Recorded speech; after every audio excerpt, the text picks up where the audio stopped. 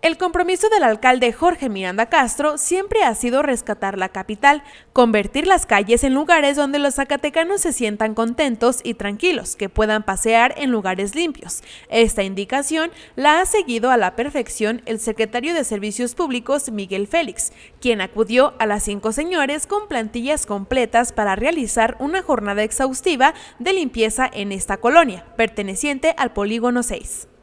Miguel Félix explicó que la demanda ciudadana ha sido con referencia a la limpieza como poda de árboles, sistema de alcantarillado, sobre todo acciones en conjunto de todo el personal de servicios públicos. Por su parte, el ingeniero Roberto Plaza, jefe del Departamento de Mantenimiento, mencionó que hay cuadrillas de alcantarillado para hacer el trabajo constante de limpieza, también con la reparación de rejillas y equipo de parques y jardines.